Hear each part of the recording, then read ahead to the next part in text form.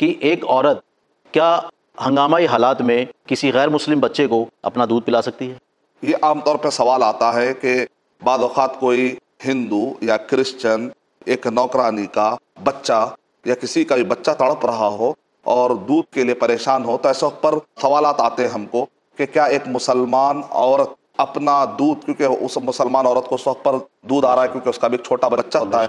जब वो देखती है कि कोई और शेरखार बच्चा है कोई और दूध पीने वाला बच्चा तड़प रहा है और अगर वहाँ पर माँ करीब ना हो हंगामी सूरत का मतलब है कि माँ हो सकता बाज़ार गई हो या उसको आने में देरी हो या कि माँ को दूध नहीं आ रहा हो या माँ बीमार हो कुछ भी हो सकते हैं हंगामी हालात।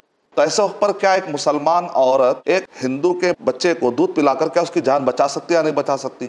यकीनन ये एक बहुत बड़ी अपॉर्चुनिटी है। सूर्य मायदा नंबर पाँच के नंबर बत्तीस में अल्लाह ताला इरशाद फरमा रहे ओमन आहिया फका अन्नमा आहियन्ना सा जमिया एक मासूम की जान बचाना पूरे इंसानों की जान बचाने का सवाब मिलेगा। अब यहाँ पर सवाल आ सकता है भाई अगर पाँच मरतबा बच्चा अगर दूध पी ले तो फिर रिश्ता कायम हो जाएगा? ये जो खातून है मुसलमान औरत जो दूध पिला रही है वो उसकी मुर्दिया यानी कि दूध पिलाने वाली माँ। कहलाएगी।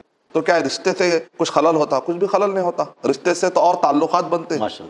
कल के दिन ये ध्यान रखना पड़ेगा कि मान लीजिए इस्लाम कबूल कर ले अगर लड़का कल के दिन या वो लड़की और फिर वापस आकर इसी घराने में अगर शादी करने के मसाइल आ जाते हैं तो सगा भाई बहन जैसे शादी नहीं कर सकते। इसी तरीके से माँ ने अगर दूध पिला दिया तो वो बच्चा जो एक साथ पिया है वो बच्ची जो आपस में क्या हो जाता है रदाई भाई बहन तो वो भी आपस में शादी नहीं कर सकते। ये जरा ख्याल रखना पड़ेगा इस मसले का। लेकिन इसकी बुनियाद पे हम उसको वो रिश्ता कायम हो जाता है लिहाजा हम क्यों दूध पिलाए ऐसा हम नहीं कह सकते क्योंकि मासूम की जान बचाना पूरे इंसानों को बचाने का सवाब लिखा जाएगा।